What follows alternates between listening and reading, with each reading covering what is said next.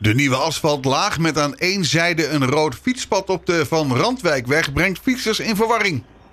Fietsers die niet snappen dat die rode baan alleen voor omhooggaand fietsverkeer is, brengen naar beneden zoevend ander verkeer in gevaar. De rijbaan van auto's is daarbij een meter smaller geworden, om zo voor opgaande fietsers een veilige strook te creëren.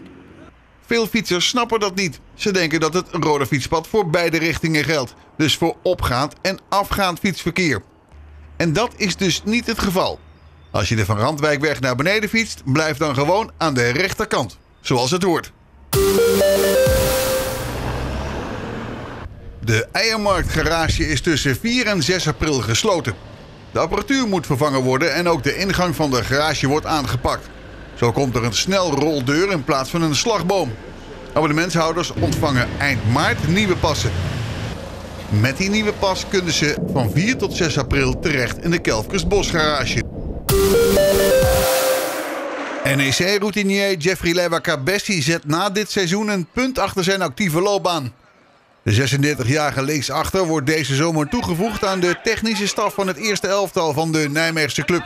Lewa Cabessi is bezig aan zijn 19e seizoen in het profvoetbal.